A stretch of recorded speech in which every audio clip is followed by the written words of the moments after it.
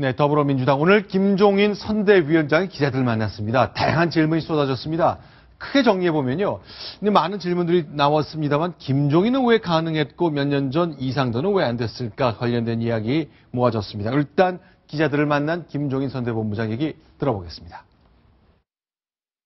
단독 선대위원장을 갖다가 선단을 전제하여서 제가 수락을 했기 때문에 그 문제에 관해서는 별로는 신경을 쓰지 않았습니다. 운동권을 어떻게 뭐 처리할 것이냐 룰에 따라서 객관적으로 공천자가 결정이 되는 것이지 정당이라고 하는 것이 이데올로기에 사로잡혀가지고 그런 식의 정당의 운영은 나는 안 된다고 생각하는 사람이기 때문에 사퇴해야 된다고 생각하십니까? 뭐 난, 나는 그러, 그러, 그러리라고 믿어요. 어떤 기준이 잠깐만 좀 앞으로 좀 나와서 아니, 지금까지 아니. 앞에 잠깐만요. 네, 자, 유병수 기자. 자, 김종인 위원장 보니까 뭐 문재인 대표 곧 사퇴할 거를 봅니다. 아주 강한 전권을 주겠다는 뜻을 강하게 밝히고 있네요. 예, 그 김종인 그 오늘 그 영입이 됐죠. 그 더민주의 그 선대위원장으로 일단 영입이 됐는데요. 그 김종인 위원장이 얘기한 부분은 딱 세 가지입니다. 첫 번째는 단독 위원장이다.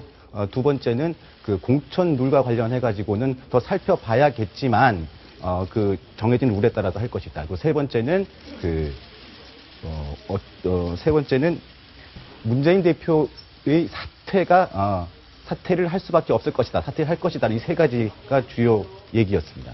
자, 그러면 사퇴할 것으로 생각하나 그러리라고 본다. 그러니까 굉장히 전권을 받은 것처럼 얘기를 하네요. 네, 그렇습니다. 그런데 이제 주류가 친노 중심이었고 그동안 외부 인사의 영입에 대해서 비판적이었기 때문에 과연 실행될까 하는 전망이 있는데 어떻습니까? 그러니까 더 민주의 민주의 선대위원장을 영입을 한 이유는 지금까지 그 탈당한 의원들을 포함해서 그 친노가 아닌 비노 계파에서 문재인 대표에 대한 그 진퇴를 계속 요구했기 때문에 이것을 상쇄하고 만회하기 위해서 김종인 카드를 꺼내 든 겁니다. 그 과정에서 김종인 어, 위원장은 어, 새누리당 쪽의 경험도 있었기 때문에 여러 가지를 고민한 끝에 단독으로 모든 것을 전권을 행사하는 조건으로 조건으로 어, 위원장을 수락한 것으로 보이는데요. 앞으로 이 부분이 문재인 대표와 아, 김종인 위원장 간의 그 갈등의 소지로 작용할 수도 있을 것으로 판단이 됩니다. 네, 자 김종인 위원장이 이제 어, 야당 의원들 사이에 예, 끼어서 이제 손을 맞잡으면서 단결을 다지는 모습 봤습니다. 그런데요, 많은 분들이 아 그러면 문재인 대표가 진작에 저렇게 외부에서 명망가를 데려다가 전권을 딱 쥐어줬으면은 분당까지는 안 생겼을 텐데 왜 이렇게 늦어, 늦어졌을까? 어떤 생각이 달라졌을까 싶은 건데요. 어떻게 보십니까? 문재인 위원장이 작년 4.29 재보선 있지 않습니까? 네. 그때부터 스탠스를 보면 내가 적법하게 뽑힌 당 대표인데 네. 왜 당규에도 당헌에도 없는 보선에서 졌다고 해서 물러나야 되느냐 이 부분을 강력히 주장했죠. 그러면서 호남과 계속 척을 졌고 네. 근데 지금은 그때와 당시 달리 아주 비상 상황이라는 거죠. 계속 탈당이 이어지면서 네. 호남 여론이 지- 어, 추락하면서 네. 그러니까 지금 비상 상황이라는 걸 나타내 주는 거죠. 자, 비상한 상황. 결국 비상한 상황이기 때문에 비상한 결정이 필요했다는 것으로 이해할 수 있을 것 같은데요. 당내에서는 아주 다양한 반응들이 나왔습니다. 김종인 경제학 박사의 전 경제수석의 더불어민주당 행 관련해서 이렇게 의견들이 모아졌습니다. 확인해 보겠습니다. 선대위를 조기에 출범시키고 김동민 박사님을 우리 당 선대위원장으로 모시려고 합니다.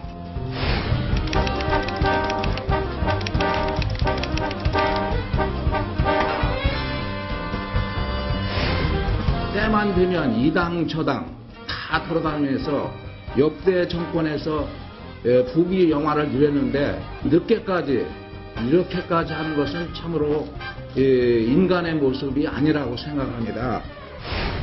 정책의 개혁성이라 어떤 그 내용으로 봤을 때 더 민주당에서 충분히 영입할 수 있는 분이 아니었나. 당신께서는 일관되게 지금 행보하고 계시는 거 아닌가? 자, 안희정 전 충남지사 얘기를 들어보면은 김종인 박사가 80년대 국보위, 전두환 국보위 출원불반부터 다양한 곳을 다녔다는 지적과 관련해서 일관되게 하고 있다는 평가를 내놨네요. 심규선 대기자께 좀 질문 드리겠습니다. 어떻게 보십니까? 저는 뭐 일관됐다는 표, 어, 표현에는 저 동의를 하지만 네. 지금 문제는 뭐냐면 지금 이 상태가 어, 중국의 말입니다. 네. 춘추 전국 시대 때 네. 자기의 사상과 비전을 가지고 군주들을 저 쫓아다니잖아요. 네. 그래서 받아주면 거기서 봉직을 하고 안 되면 나가듯이 네. 그런 그 느낌을 언뜻 받아요. 네. 문제는 그럴 경우에 지금 아까 저- 저기 여변호사도 얘기를 했지만 그럼 옛날에 그럼 좀 받아들이지 하는 얘기 나오는데 뭐 결국은 시간과 상황이 에, 민주당 더민주당의 생각을 바꿨던 것이고 네. 그리고 결국은 뭐 김종인 씨- 박사를 비판한 것보다는 제가 볼 때는 네. 민주당을 비판해야 뭐 더 맞 지 않겠는가 하는 게 제 생각입니다. 근데 지금도 아까 조금 전에 얘기 나왔듯이 네. 잘될 가능성이 과연 있을까 네. 하는 그런 그 걱정이 굉장히 많이 앞섭니다. 개- 그건 왜 그렇죠? 그 굉장히 저기 아시다시피 김종인 위원장이 네. 지금 저기 어, 더민주당의 어떤 그 구조들을 어, 기구들을 보면 네. 위에 선대위원장이 있고 밑에 문 대표가 있는 그런 그걸 꿈꾸는 것 같아요 보니까. 네. 근데 그것이 과연 어, 잘 돌아갈 것인가? 네. 저는 매우 저 비관적으로 보는 편입니다. 알겠습니다. 자, 그렇다면 그 이상돈 교수 그러니까 재작년쯤이었죠. 재작년쯤에 이 비대위원장으로 이상돈 전 중앙대 교수를 영입하는 문제와 관련해서 어, 정청래 의원이 굉장히 강한 비판을 내놨었거든요. 자, 한번 그 당시 장면으로 돌아가 보겠습니다. 오늘은요, 박수를 쳤다 그러는데요. 그 당시 장면 확인해 보겠습니다. 지난 대선에서 우리 당 후보를 떨어뜨리기 위해서 불철주야 안간힘을 썼던 박근혜 정권의 탄생의 1등 공신이었던 사람을 우리 당의 선장이 된다는 것은 있을 수 없는 일이다. 강행할 시 저는 제 모든 것을 걸고 온몸으로 결사 저지하고 만약 그런 상황이 되면 퇴진 투쟁을 불사할 것을 다시 한번 말씀드립니다. 이것은 변화가 아니라 변절입니다. 자, 정청래 의원이 얼굴이 까만 거 보니까 당시 단식할 때였는데 지금 이상돈 교수를 김종인 전 경제수석으로 바뀌면 동일하게 적용될 만하거든요. 그런데 생각이 좀 전혀 달라진 것 같네요. 그만큼 비상 상황이라는 뜻으로 해석하는 겁니까? 어, 저는 그렇게 보지는 않고요. 네. 그, 박- 그 상황이 달라진 것은 영입한 사람이 누구냐 이 상황밖에 없는 것 같습니다. 왜냐하면 영입한 사람이 지- 영입, 영입하려고 했던 사람은 지- 2년 전에는 박영선 당시 원내대표였고요. 네. 이번에는 친노계의 수장인 문재인 대표입니다. 딱 그 차이밖에 없는 것이죠. 그 네. 정청래 의원의 저런 반응을 볼 때도 네. 이상돈 교수나 어, 김종인 교수 같은 경우는 2012년 그, 하- 그 새누리당에 몸을 담고 어, 선대위 활동을 했고 비대위원을 했었던 분들입니다. 네. 그런 분들을 그 모셔오는데 똑같은 어, 기준이 적용된 것이 아니고 네. 영입한 사람이 박영선이냐 문재인이냐 그 차이에 따라서 태도가 바뀌어진 것으로 저는 이해를 할 수 있을 것 같습니다. 자, 그러면 저 상황이 달라졌다. 그러면 사람은 어떻습니까? 이상돈 교수, 김종인 전 경제수석 과연 어떤 차이가 있을지 좀 궁금한데 좀 어떻게 보시나요? 정치적으로 실제 현장에 뛰었던 것과 아닌 것 그런 차이 정도입니까? 저는 뭐 저기 우리 유, 유, 어, 기자 의견에 전한 90% 이상 동의하면서도 네. 나머지 10% 정도도 좀 다르지 않는가. 예를 들어서 네. 무게와 컨텐츠인데 네. 역시 에, 김종인 위원장의 무게가 네. 이상돈 비대위원보다는 무게가 높은 게 사실이고 네. 경험이나 이런 걸 볼 때 또 하나는 역시 컨텐츠 아닌가. 네. 지금 아, 아까도 얘기 나왔지만 그 비대위원이라 아 저기 뭐야 국보위원이라든가 네. 그 이후에 어떤 행적을 보면 상당히 비판받아 마땅한데도 불구하고 어, 이 양반은 하나의 어떤 그 방탄조끼를 가지고 있는데 네. 그 방탄조끼가 뭐냐 하면 역시 경제 민주화를 어, 평생을 두고 추, 추구해 왔다. 네. 그렇기 때문에 아까 그 저기 아, 김무성 대표가 아, 선거 때만 되면 자기를 알아주는 사람을 위해서 네. 하는 것이 있다는 게 바로 자기를 알아주는 부분이 기- 어, 김종인 위원장 같은 경우는 역시 어, 경제 민주화라는 면에서 아, 유 의- 어, 기자 의견에 100% 동의를 하면서도 어, 역시 예, 무게와 컨텐츠 네. 이것이 아, 비난을 조금 네. 아, 뭐랄까 약화시키는 어, 그런 것 면에서는 아, 이상 어, 저기 다른 사람들하고 좀 차이가 있다 그렇게 본다. 여 변호사님께 좀 질문 드려볼게요. 어떻습니까?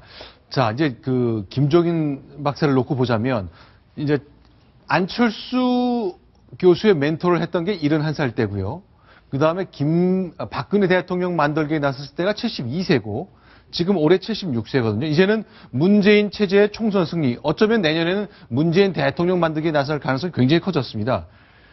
우리나라 사회의 원로이자 이제 원로 정책가 경륜을 가진 분이라고 보통 평가를 받을 만한 위치를 쭉 걸어오셨는데 70 이후의 생각이 많이 바뀌신 것 같아요.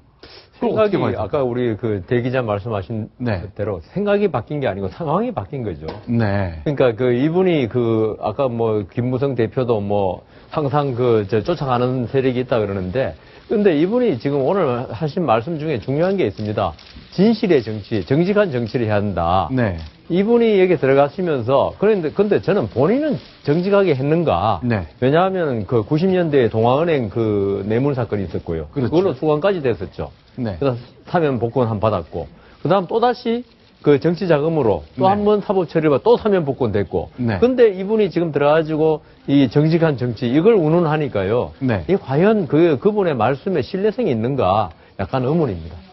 자, 일단 어쨌건 새롭게 더불어민주당이 새로운 전열을 갖춘 이후에 좀 변화가 있습니다. 일단 이정은 차장, 지지율 변화가 좀 생긴 거죠? 그렇습니다. 그 지금 지난달만 해도 그 문재인과 김무성 대표 그 비슷하게 나왔었는데요. 이번에는 문재인 대표가 전국과 또 호남 지역에서 모두 다 1위로 올라섰습니다. 이것은 어, 지난해 5월 이후에 8개월 만입니다. 그래서 지금 보시면 어, 지금 호남 부분만 나오고 있는데 문재인 네. 대표 23%, 또 안철수 어, 대표는 22%로 근소하긴 하지만 문 대표가 앞서가고 있습니다. 앞서 보신 그 전국 부분에서도 문재인 대표가 16%로 안철수 그 대표의 13%를 넘어서는 걸로 지금 나오고 있습니다.